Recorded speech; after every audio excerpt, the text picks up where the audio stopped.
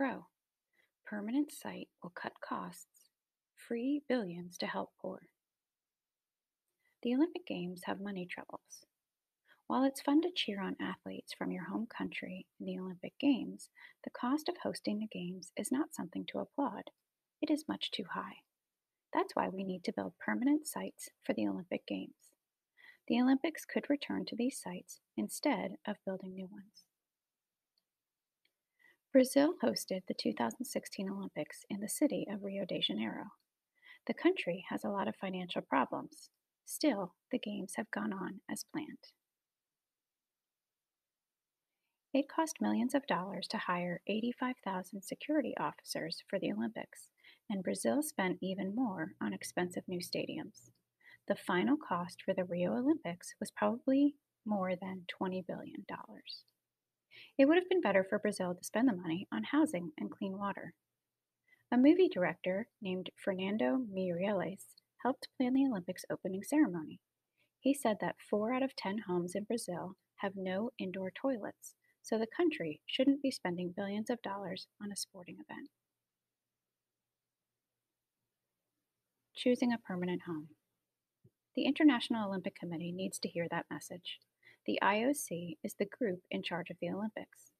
The idea for permanent Olympic sites goes back more than 30 years. In 1984, two men on the U.S. Olympic Committee suggested permanent sites. They wanted one site each in North America, South America, Europe, Asia, and Africa. That would be five sites total. The Olympic Games would switch between them. Where should the sites be? Why not ask the athletes? Medal winners would know the best places to play their sport.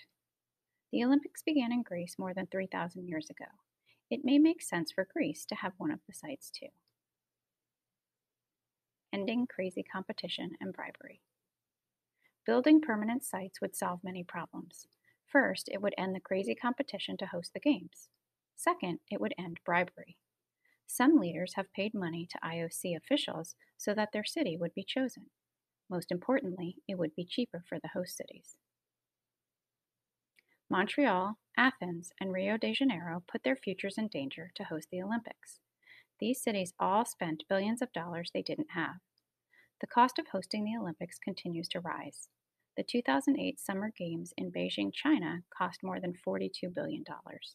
In 2014, Russia spent more than 50 billion to host the Winter Games in the city of Sochi. In 2020, the Summer Olympics were supposed to be in Tokyo, and a new stadium alone would cost $2 billion. The IOC makes money from the Olympics It could give the money it makes to the permanent sites to keep them up to date so that new arenas wouldn't be needed for every Olympics. There would be more money for everyone this way. IOC officials could even give extra money to poor countries for medicine or food. The Olympics have had many scandals in recent years. Athletes have been thrown out of the Olympics for using drugs to make themselves stronger or faster. Now there are reports that the water in Rio is polluted. The IOC should do something to make the Olympics look better and now is their chance. Con Hosting the Olympics creates national pride. Some people have suggested holding the Olympic Games in Greece or in permanent places on five continents. That would be very wrong. There have been many problems with this year's Games. People say there should be a better way to plan the Olympics. Right now, nations compete to host the Games, and they spend millions of dollars even before they're chosen. Some think that the Games should be held in the same places in North and South America, Europe, Asia, and Africa instead. This would be a serious mistake. Countries would not get a chance to show their national pride or make important improvements for the Games. Most importantly, they would not have a chance to make history. A recovery from World War II. For example, the 1964 Tokyo Olympics was an important mo- moment in Japan's history. Japan was defeated by America in World War II. The Olympics gave the Japanese a feeling of national pride and continued the country's climb toward becoming one of the world's most important countries. Those Olympics helped rebuild Japan. The high speed train connecting Tokyo and the city of Osaka opened only days before the Games. The main part of the highway system in the center of Tokyo was rebuilt. and Tokyo's subway system was improved. In 2012, Great Britain hosted the Olympics. That year, most British men said they felt a sense of pride because their nation was hosting the Games. This is very important for a nation. Making history beyond sports. The Olympics have also made history for reasons other than the Games. In 1936, the Olympics were held in Berlin, which was the capital of Nazi Germany. Nazi leader Adolf Hitler planned to show the world that Germans were better than everyone else and should rule the world. Jesse Owens, a black athlete from the US, proved him wrong. He was the most successful athlete of those games. Owens also became the first American to win four track and field gold medals at a single Olympics. His record was not broken for 48 years.